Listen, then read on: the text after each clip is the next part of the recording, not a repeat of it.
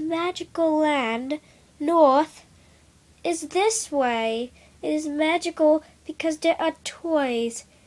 Would be a magical place for a kid, a little one. Anyways, yeah, that's it.